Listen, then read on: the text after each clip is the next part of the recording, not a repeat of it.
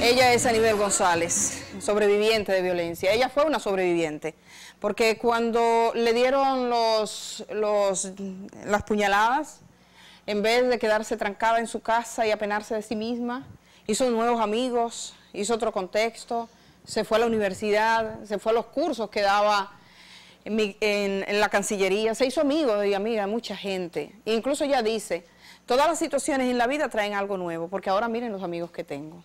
Y de verdad que fueron amigos leales, le acompañaron y esos fueron los momentos quizás más felices de la vida que vivió.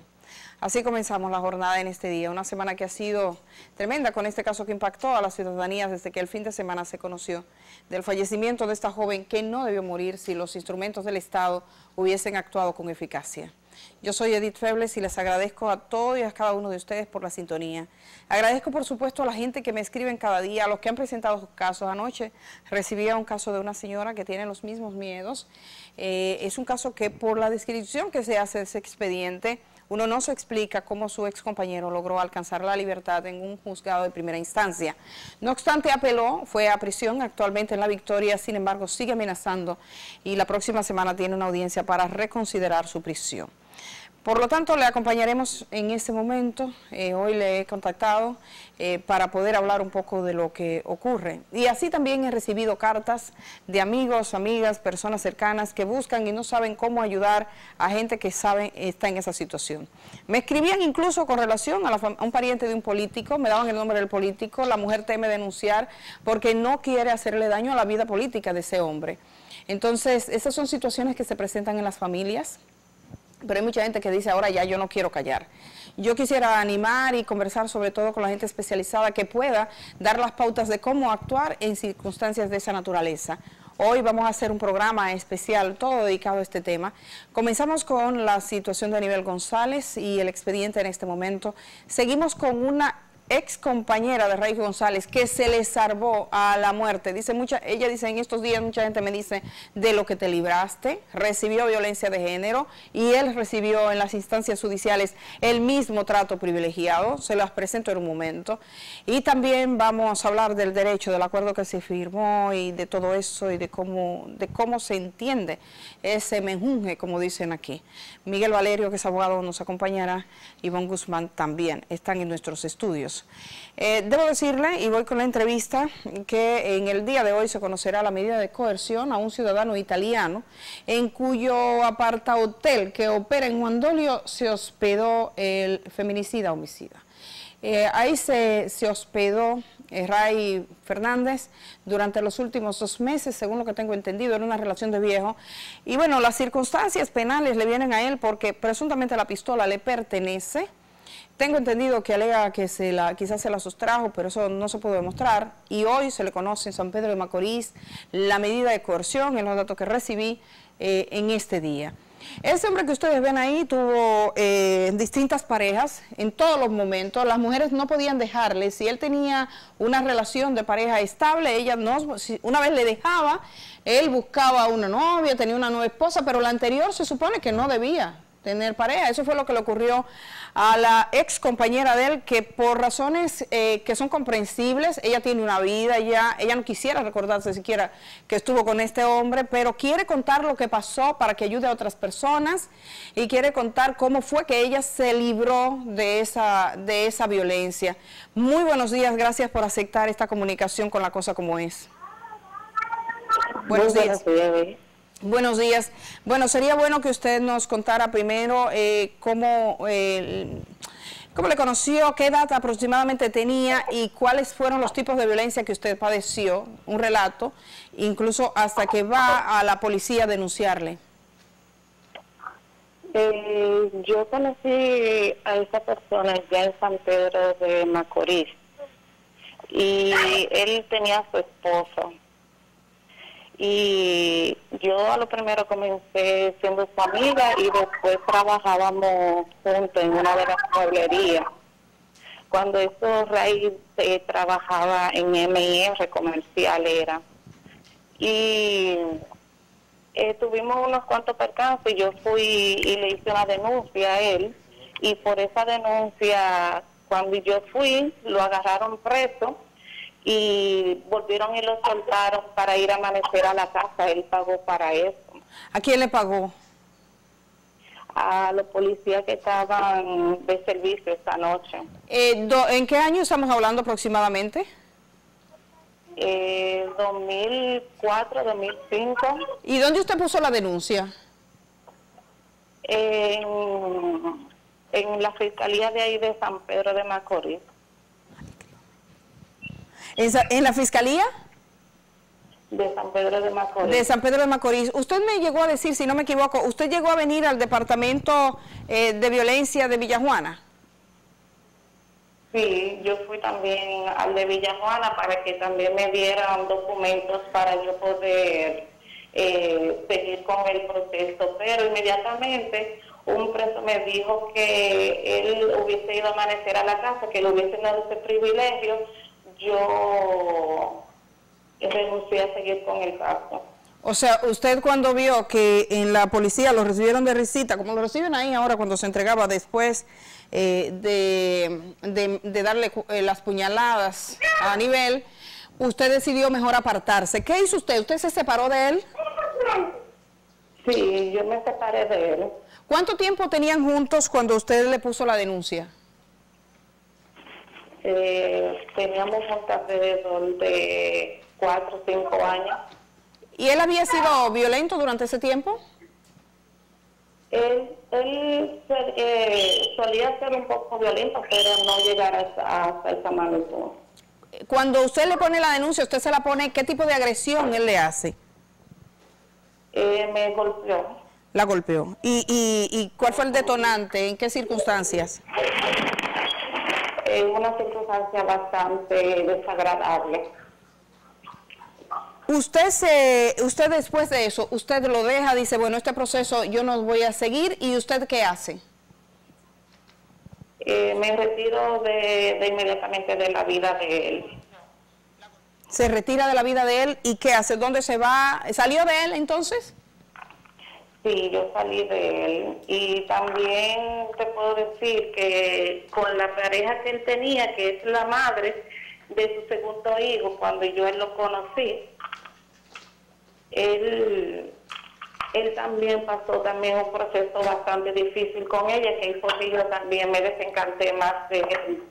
Usted, cuando le pasa eso, usted viene a vivir a Santo Domingo, eh, anoche me adelantaba, recuérdenos lo que pasó y cómo usted logró salir la segunda vez que él le busca y le agrede y el tipo de agresión que le hace.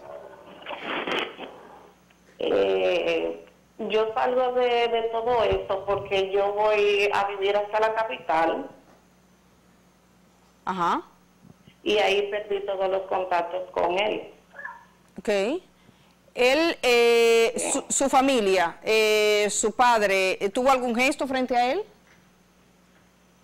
No, mi padre no, pero la última vez que él tuvo el problema con la ex esposa de él, de la madre de su segundo hijo, yo sí te puedo hablar un poco de, ese caso, porque ¿Qué, pasó? Eh, yo supe de todo ese proceso que él sí tuvo con ella. ¿Qué le pasó? Él también trató, él también trató de, de matarla a ella.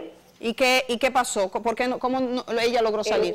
Eh, el papá de ella siempre estuvo al frente de, de ella. O sea, la protegió. Sí, su papá siempre la protegió y él se la llevó a ella y al niño fuera del país. Ellos no viven aquí hace muchos años. Ok, o sea que eh, si ese, ese, ese caso yo eh, recuerdo, alguien me contaba que vino a agredirle, creo que esa persona trabajaba en un salón de belleza, algo así, ¿puede ser? Eh, eh, trabajaba y él fue a agredirle y luego llamó al papá para decirle no te la maté porque ella se agarró a algo y el papá lo confrontó. El papá lo encañonó. el papá de ella, de una vez, cuando él pasó ese incidente, su papá de una vez cogió hace Santo Domingo. Y lo, y lo confrontó. ¿Y él qué hizo cuando encontró a un hombre que lo confrontó? No, nada. él era un poco, como nosotros decimos en términos dominicanos, pendejo. Exacto. En cuanto a hombre de frente a frente se refería. Eh, este, este joven, eh, bueno, él llega de Dajabón a Santo Domingo, de Santo Domingo a San Pedro. ¿Usted recuerda lo que le contó en esos años de cómo él llegó? Porque él no era un hombre rico, él era un empleado de una mueblería. Sí, él era empleado, pero él, la, la eh, ¿cómo te digo? Lo que yo sé de la vida de él, cómo comenzó, él era vendedor de pollo primero. Ajá en el barrio donde él residía en la capital. Ok. Y de ahí entonces sí busca trabajo en MR comercial y de ahí es que él comienza a echar hacia adelante. Eh, a nivel que, tengo entendido que los más cercanos le llamaban Ani. Eh, ¿Cuántos años tenía? ¿Usted supo cuando él, eh, ya su, historia con él había pasado cuando llega a nivel? ¿Cómo, ¿Cómo fue eso? ¿Usted se enteró? Porque ella tenía 17 años, tengo entendido. Sí, pero desde un punto de vista, para ella no era nada escondido porque todo el mundo a ella se lo decía cuando ella llega a la vida a ver el tipo de persona que era él. Exacto, pero bueno, sigue con él, tiene 17 años, ella era evangélica. Sí, sí ella era de la iglesia. ¿Usted supo de agresiones posteriores a ella? Eh, no constantemente porque ya yo estaba eh, alejada y distanciada de todo eso, pero si se llegaba a saber, tú sabes que en los pueblos chiquitos se conoce todo el mundo, todo el mundo sabe. Con respecto a, a la libertad que él obtuvo después de darle las puñaladas a ella, ¿qué supo usted? No, no supe muchas cosas. ¿No, no, no, ¿No se enteró cuando él salió libre? Sí, yo me enteré. ¿Y usted sabía que él constituía... una vez ya estando afuera. Una vez estando afuera. ¿Pensó que él constituía un riesgo para ella? Era Todo el mundo lo sabía eso, que inmediatamente él saliera de ahí, él iba a salir más agresivo. Bueno, eh, ya finalmente a las mujeres que estén viviendo situaciones de violencia y a las familias, usted que la vivió con él, ¿qué le recomienda? Que no callen, que por amor a los hijos no se puede aguantar tanta esa situación, que por amor a los hijos uno debe de retirarse a tiempo y darse a respetar y ponerle un stop y no nada más a un solo lugar a, dar, eh, a decir lo que está pasando y bueno, muchísimas gracias. Yo creo que una cosa importante que usted nos ha dicho en esta mañana es el hecho de que cuando puso la denuncia ante la policía, lo que hicieron fue aliarse con él.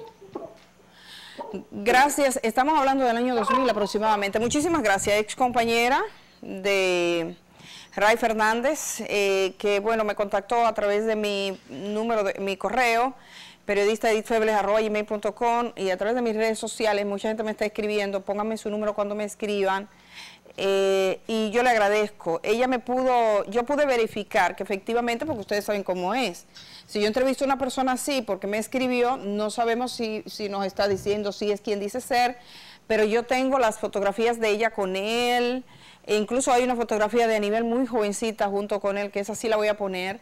Eh, pero ella mostró quién era, sé de quién se trata, porque no, no hago entrevista a gente desconocida que yo no conozca, puede ser desconocida para la gente, pero yo sé de dónde viene la información, eso es importante, porque hay gente que te dice, me manda aquí un anónimo, de que para que yo lo lea, pero no somos locos. Yo tengo que saber dónde viene eso y quién es y si tiene fundamento. O sea, si alguien no quiere ser presentado, puedo entender perfectamente que una mujer que ya ha salido de esa historia no quiera verse vinculada. Debo decir que en los registros de antecedentes penales él tiene un antecedente por violencia, amenaza en contra de un ciudadano. Ahorita le digo el nombre, es de San Pedro de Macorís y fue probablemente su empleado.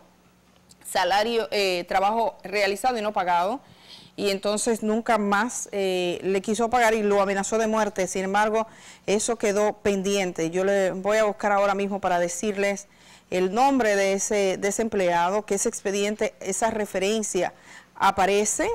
Fue en el año 2012, el 13 de marzo del 2012, cuando entra este caso que es en San Pedro de Macorís, eh, Bolívar Berroa. El señor Bolívar Berroa, amenaza, eh, Código Penal, amenaza eh, trabajo realizado y no pagado y no en la ley 3143.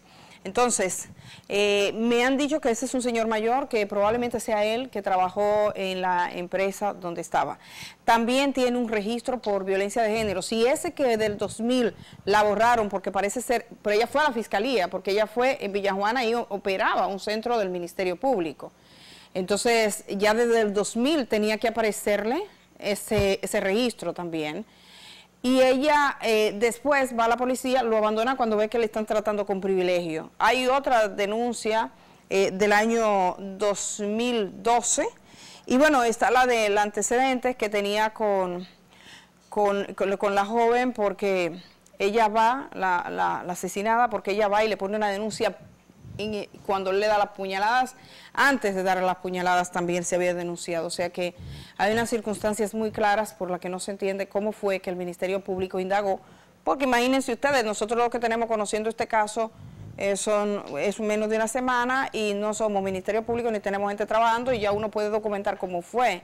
O sea, cuáles eran sus antecedentes. El Ministerio Público tiene todo, puede entrar y ver. Y eso pareciera o debiera ser parte cuando se tome un acuerdo, pero pero no hay que hablar de eso porque en definitiva el acuerdo nunca debió, nunca debió ser. Así que hoy vamos a conversar un poco más. Yo me voy a ir a la pausa. Yo tengo, como les decía, algunos detalles, por ejemplo, respecto a sus bienes, las decisiones que ha tomado, pero prefiero tener alguna documentación y, presentarlo. Yo sé que él tomó algunas decisiones respecto a los bienes, casi enajenándolos antes de asesinar a, a, a su, a su expareja eh, de los disparos, tal como lo hizo. Entonces, esos son detalles que posteriormente eh, podríamos ver. Sí debo decir eh, que tengo una información que a mí me parece que ya como persona, incluso como ciudadana, este caso tiene mucha relevancia pública, pero a veces los casos, aunque tengan mucha relevancia pública y demás, operan con un nivel de torpeza que tú te sorprendes. yo lo he visto aquí en casos de niños abusados, que usted ve un operativo que las autoridades denuncian en los periódicos, que estábamos rescatando niños, y después tú hablas con la secretaria del centro donde le lleva y dice, ayer no le dejaron comida. Y tú dices, lo rescatan en los periódicos, pero en la práctica ni aparece la comida de esos niños que acaban de rescatar. Eso yo lo viví en el sistema de menores, por ejemplo. Entonces, son tres niñas. Los responsables de esto han sido las personas que probablemente negociaron, se habla de un negocio económico, o por las razones que fueran, por las razones que ustedes quieran, que se están investigando todas las aristas, se supone. Y hay tres niñas, incluyendo una que vio dos episodios. Vio al papá cuando le da las puñaladas y vio al papá cuando le da los tiros. Esa niña no tiene asistencia psicológica en este momento. Esa niña no ha tenido una asistencia psicológica adecuada. Esa niña estuvo en el sepelio, perdida. Incluso estaba suelta sin nadie que la, que la atendiera. Cada quien tiene su problema y suelta a esos muchachos. Yo me pregunto, ¿hay organismos de menores en el país que puedan intervenir en un caso así? Digo yo, sería lo mínimo. Sería lo mínimo que el Estado puede hacer, ¿no? ¿No se supone ustedes que han sido parte de ese proceso, que han, que han lastimado y lacerado a una familia que a, a final de cuentas la que importa son esas tres niñas? Eso no le llama la atención, no hay nada de menores. Ahí en San Pedro Macorís no funciona Nada, no tenemos nada que tenga que ver con menores, que pueda decir un servicio psicológico para estas niñas y darle un seguimiento. Yo me pregunto, la más pequeña es diabética tipo 1, está en una, situación grave, incluso ella eh, cayó muy enferma, ella tuvo que irse a la, a la Plaza de la Salud con su hija, él va a la Plaza de la Salud teniendo orden de alejamiento, va dos veces, tienen que sacarlo de la habitación donde está. Y cuando ella regresa a San Pedro, escondida en Moca, es porque le dicen que su hija está muy enferma. Esa niña se le compran los medicamentos que cuesta poco más de 100 dólares cada mes, cada semana, perdón, con colectas prácticamente en este momento. Entonces, no sé cómo se hace eso, pero cuando hay una familia que son los dos y usted ve tanta indefensión, si el Estado tiene mecanismos para que esas vidas sean aún menos lastimadas, digo yo, no sé, pero me parece que es lo lógico, que por vergüenza, por vergüenza, una forma de, pedir perdón y de saber que usted ha ofendido y que ha lastimado, pero además de que el sistema funcione. Yo no sé, aquí no existe, pero debería existir, porque hay niños huérfanos que quedan de este tipo de casos. Pero sobre todo cuando usted ha hecho tanto y pujó tanto por poner en libertad a un hombre que no se lo merecía, carajo, este es el resultado, los dos están muertos y las niñas están ahí y fueron testigos. Yo me lo pregunto, voy a estar pendiente de ese caso porque me parece vital. Me voy a ir a la pausa. Cuando regrese este, estoy con dos especialistas. Vamos a hablar con Ivonne Guzmán.